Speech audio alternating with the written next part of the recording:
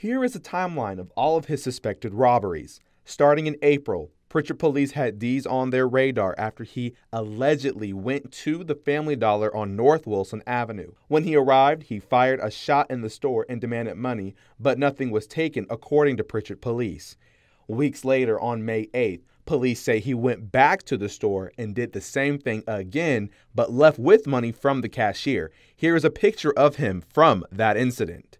His alleged spree continued on June 14th, where he reportedly committed two armed robberies the same night. The first one at 9:30. Daphne police say it is a high probability that Dees is the suspect in the robbery at the Exxon gas station on Highway 98.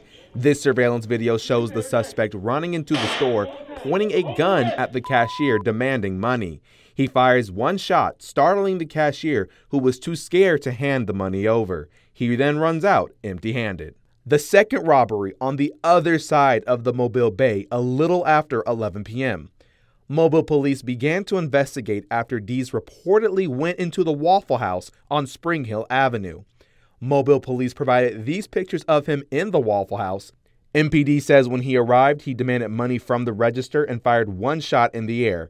After firing his gun, he ran out with money and went inside this getaway car you can see on your screen. And Thursday night, Prichard police say Dees robbed the Dollar General on Lott Road near St. Stephen's Road.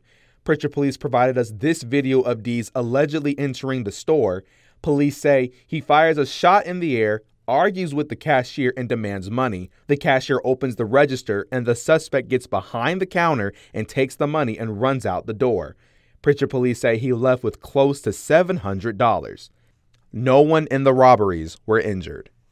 Reporting in Mobile County, Jeremy Jones, WKRG News 5.